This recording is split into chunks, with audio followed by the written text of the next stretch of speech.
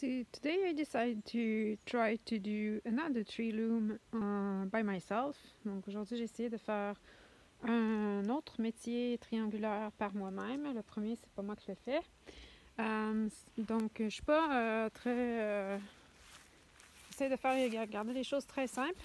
Donc, c'est ça que j'ai placé les morceaux de bois comme je pensais que ça devait arriver. Donc je me suis tracé une ligne ici, puis je sais que j'ai ça à couper. Et puis je vais avoir cette partie-là aussi. J'ai fait la même chose de l'autre côté, donc ça, ça va venir assembler là. Et ici, j'ai placé mes morceaux de bois ensemble. Puis je sais que je vais couper comme ça, puis que je vais assembler ça ici. Je vais mettre un renfort en derrière. So I just placed the wood like I would like it to be, and I'm gonna cut um, the appropriate angle that I mark. And I will use I plan to use a metal plate to consolidate uh, under the wood because this is a pretty big piece. It's 10 foot wide and the um, those pieces the diagonal piece are 6 foot uh, exactly 6 foot Donc, c'est 10 pieds de large. Celui-là, il fait 10 pieds euh, exactement. Puis, euh, 6 pieds de long pour euh, les deux barres latérales. Euh, c'est du 2 par 1 qu'ils appellent Orona. So, this is 2 um, inches by 1 at my local hard uh, hardware store. So that's it. Next, I'm gonna just chop uh, the appropriate angle and try to uh, make this all together. Donc là, je m'en vais couper et puis je vais essayer de faire tenir tout ça ensemble. This has been my solution for um, holding the piece together of my triangular loom. Um, well, I'm not into woodworking at all, so I just took the easiest solution for me, who has absolutely no knowledge about this, about this metal plate, and put four screw and nail a little bit. Husband is gonna say that it's such a crappy uh, um, job but it's currently holding. So I I put this on the tree angle and it works. It still seems to hold pretty well uh, for now for the use I'm gonna I'm gonna do maybe my husband will add something more to make it more secure Donc euh, là pour l'instant c'est ma solution euh, que j'ai utilisée qui m'a apparu la plus facile pour quelqu'un qui ne fait absolument pas de travail du bois. Je n'ai aucune connaissance, je n'ai même pas cherché sur internet comment faire le montage de ces morceaux là. J'ai fait tenir les angles avec trois plaques de métal comme ça que j'ai vissées euh, à chacun des angles du métier. J'ai mis deux clous de chaque côté. Et puis c'est ça, ça semble tenir sans problème pour l'instant. Euh, mon chum va peut-être euh, mettre quelque chose de plus pour solidifier, mais pour l'instant, j'allais manipuler et ça tient. Donc maintenant, je vais faire le calcul pour euh, mettre le nombre de clous appropriés. je vais le faire un petit peu plus serré que l'autre métier que j'ai. So I'm gonna um, now do the maths to put the nails on. And I'm um, I think I'm gonna put the wipe a little bit more close, uh, tight than the other one I have. uh, which was every 1.25 millimeter uh, uh, centimeter. So I had on the previous one four nails at every 5 cm donc le, le, le dernier euh, métier que j'avais fait il y avait 4 clous à tous les 5 cm celui-là je pense que je vais le mettre à tous les centimètres. Voilà à tantôt. So um, it took me a while. Um, currently I haven't even finished the, um, the whole uh, top bar. Um, I decided to install the nails at each centimeter. And this is 288 so which means 288 nails. Euh, donc euh, en ce moment j'ai toujours pas fini de poser les clous j'ai décidé finalement de les poser au, à tous les centimètres et comme euh, la barre du haut mesure 2,88 m sur la partie euh, à clouer, eh bien j'ai besoin de 288 clous. Et euh, il va me rester euh, les, deux, euh, les deux autres côtés du triangle. Et c'est 144 clous euh, de chaque côté. Donc un autre 288 clous au total à poser. Et ils vont être tous les 1 cm et 24 mm. So the um, top bar uh, require 280 nails and I still have um, the two other sides to finish I haven't finished um, I have two tiers of this. It took me I don't know maybe one hour and a half. And I have um, I will I will uh, install 144 nails on each of the other sides. So there will be a total of 288 for the bottom. Same as the top bar donc il va avoir un total de aussi 288 clous euh, au total pour toute la partie inférieure du triangle ce qui est la même chose que la partie supérieure du triangle le, premier métier tissé que j'avais fait, c'était, euh, j'avais utilisé d'autres clous. Euh, ça n'allait pas super bien, c'était vraiment des clous de base. Et euh, il y avait un, fini beaucoup plus rustre, je vais dire. So the first loom that I made, I used another kind of nails which were really really basic um, way nails. And they had also the top part that was very much more wide and it makes it difficult to um, put the nails uh, close together. So I decided to change the nails. And I took um, those one are uh, well you can see the brand here. Uh, so it's Finish uh, Bright and it's I don't know how they're made, but they are more easy to, to nail uh, because they are kind of glossy uh, on the the finish is kind of glossier instead of matte. And uh, those are could be hidden because there is no obvious head on the, top so it allows to install them closer it cost me five dollars for uh, over a thousand. Um, donc ça, c'est des, des, les clous que j'avais utilisés la première fois. C'était des clous qui étaient beaucoup plus basiques. Euh, il y avait un fini un peu mort, puis il y avait une tête beaucoup plus grosse que ça. Étant donné qu'ici, je voulais mettre les, les, clous plus espacés, plus près les uns des autres, j'ai décidé de prendre des clous qui n'ont pas vraiment de tête. C'est des clous qu'on appelle invisibles, apparemment. Et ceux-ci sont un petit peu plus faciles à manipuler parce qu'ils ont un fini qui est ce qu'on appelle les brillants. La boîte m'a coûté environ 5 4,95 plus les taxes ici. So it cost me 5 for the 1200. Donc il y en a 1200 pour 5 euh, On est envahi de moustiques. Euh, et c'est pas des clous spéciaux, c'est des clous vraiment ordinaires qu'on retrouve sur les tablettes. So this is very ordinary nails that you can find in any hardware store. Um, what else I have to say is it takes the hell of a time. It's taking forever to nail.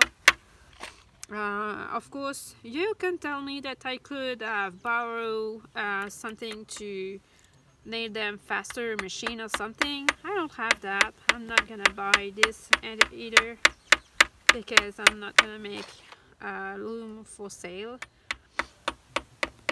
Donc, euh, je suis sûre qu'il y en a qui vont me dire oh, que j'aurais pu poser ça bien plus rapidement si j'avais un outil qui euh, à percussion qui installe les clous. J'en ai pas, j'achèterai pas cet outil-là. Euh, J'ai pas l'intention de faire euh, une profession du de, métier, de montage de métier à tisser triangulaire. Au total, ce métier-là, incluant les clous, le bois et les trois petites plaquettes en métal, m'ont coûté 24 euh, dollars canadiens. So um, this loom cost me, uh, including wood, nails, and a tree plate, metal plate, and uh, a little bit of screw, cost me 24 bucks Canadian. So well I encourage you to to do it because um, it doesn't cost a lot and it allows to create wonderful shawl tri triangular shawl. And it's um, a great way to start into weaving uh, especially if you are a beginner. It's not complicated at all and it could showcase your unspun yarn very easily um, and it's quicker than uh, knitting and it's taking less yarn donc je vous encourage pour 24$ quelques coups de scie euh, si vous n'avez pas de scie, juste un petit scie à main peut faire la, la, la job. C'est du pine. So this is pine wood. Uh, if you don't have an electrical uh, sawer uh, to cut the wood, then you could just do it with hand by hand uh, saw. It could be done and doesn't require any special skills. Uh, just to be sure to have the same number of, uh, of nails on the top than the bottom and what else I could say well it's a very uh, easy way to showcase your unspun it is very affordable more than a rigid loom. It's super easy it's more quick than knitting and it's gonna take less yarn than a knit shawl for the same uh, size. And um, it's gonna be less bulky too than a knit shawl. And less stretch. And for um, a shawl this size then I think uh, be careful about the amount of yarn you use because it's gonna be become heavy. It could be a downside of this. Donc euh, c'est ça ce que je disais c'est que euh, ça prend moins de fil qu'un châle de la même grandeur qui va être tricoté. Euh, ça va être moins stretch aussi, donc plus euh, stable, plus stable au niveau de la, de la forme. Je dis ça parce qu'un châle de 10 pieds de long, en fait, euh, ben, il ne fait pas ça au final, il est un petit peu plus court.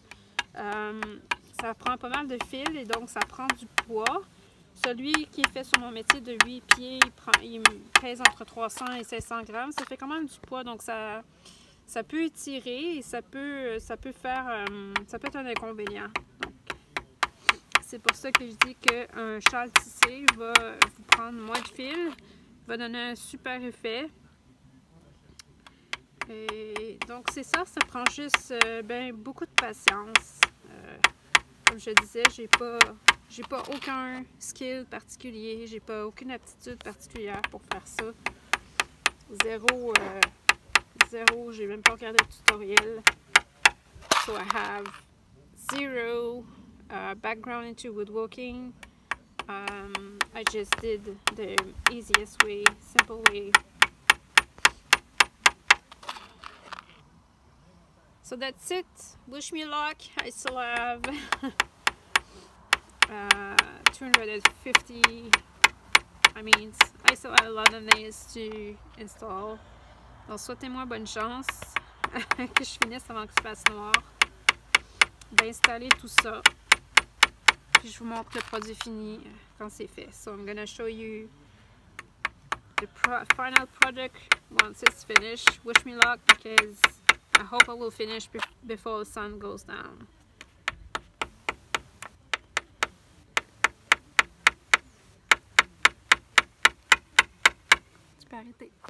So the loom is finished uh, this one is the one that I was working uh, with before and it's just um, to show you how I uh, work with it. So my roof is not finished and I have used some hook here. And um, I have attached this, it's this uh, to the roof. And what I do is that as um, when I'm working I'm going lower and lower. So uh, when I um, I use those hook here to um, move the loom I have two of those one here and one here and I um, I move it higher and higher as long as I could I, I weave so I could work at my um, a, a comfortable uh, eight for my shoulder because it's being uh, it's um, an ongoing issue uh, pain on the shoulder because I use too much my arms um, and since uh, sometimes I move a little bit I use this IKEA tool uh, stool um, to attach the loom. And uh, it just took a piece of elastic and I attach it um, when I use it so it doesn't move too much. And it's going well with that. Um, donc euh, c'est ça j'ai deux euh, j'ai attaché le, métier au plafond parce que mon plafond n'est pas fini j'ai cet avantage là c'est très très facile. J'utilise ces crochets là those are gardening hook. You can find this at the dollar store. Donc ces crochets là c'est des crochets euh, à jardiner. J'ai trouvé ça dans le rayon du Dolorama, dans, dans, le rayon du jardinage. J'en ai acheté plein pendant la saison de l'été. Et puis, euh, au fur et à mesure que je tisse, en fait, euh, je remonte le métier. Comme ça, je peux travailler à une hauteur confortable avec mes mains parce que je surutilise mes bras toute la journée. Puis, c'est bien important de garder mes bras à la hauteur qui est confortable et ergonomique. Donc, euh, à chaque fois que j'avance un petit peu dans mon tissage, ben, je descends ou je monte, dépendamment de ce que j'ai besoin. Je bouge le crochet et je le mets à mes hauteurs différentes. Et euh, pour ce qui est du bas ici, ben, j'utilise ce petit escabeau-là Ikea pour attacher le, métier euh, parfois quand, que, quand c'est nécessaire. j'ai juste pris une bande élastique pour attacher le métier pour empêcher qu'il balance trop euh, dépendamment d'où dépendamment comment ça se passe. Voilà. Donc ici, c'est le métier euh, une fois terminé. Euh, celui que je viens de vous montrer dans mon atelier, c'est un 8 pieds de large. Je pense qu'il fait 38 ou 35 de profond. Sur this one, celui-là celui ici, c'est un 10 pieds de large. la profondeur est à peu près la même, par exemple, pour ce qui est de la pointe. So this one is 10 foot wide and the deepness of the point is approximately the same than the one I just showed you um, something it was supposed to be 40 but I don't think it's 40 because I may have miscalculated my thing anyway um, it was very um, not there, there was no wood waste because I took uh, those piece of wood they are one uh, two per one uh, inches and they are sold by two in two foot increments so this is what why I used 10 foot uh, and two pieces of six. Donc ces morceaux de bois-là de pin sont vendus euh, dans des euh, les deux pieds. Donc il y avait des morceaux de 4, 6, 8 pieds, 10, 12 pieds.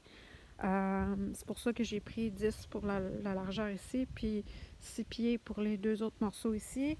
il y a 288 clous sur la bande ici, et puis 144 ici et 144 là. So there is 288 uh, nails all on the top and uh, 144 on this one and 144 on this one.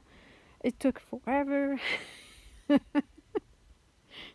Ça l'a pris tout l'après-midi, c'est vraiment très long. Euh, si vous pouvez avoir de l'aide pour vous aider euh, pour faire ça, je pense que ça, ça vaut la peine. So if you can have someone that could do another side while you are doing one side, uh, well, I, I think you will you will be grateful. so that's it. I'm gonna do a wedding shawl on this. Uh, this one I'm excited. I uh, hope you it's helpful for you. Um, donc euh, moi je m'en vais faire un châle de mariage sur ça. Euh, J'ai bien hâte de commencer. Et puis, je vous reviendrai avec euh, qu'est-ce que je pense à propos des types de clous que j'ai utilisés par rapport à ceux que j'ai utilisés sur l'autre, parce que j'ai un petit peu peur que les, le fil sorte, parce qu'il n'y a pas de tête, en fait. So I'm a little bit worried about the nails that I use because they are kind of very glossy and uh, they don't have um, obvious head and I'm just a little bit afraid and concerned because maybe the yarn will just fall of it uh, if I pull too much on the wipe. So we'll let you know. Hope it helped. Thank you. Bye bye.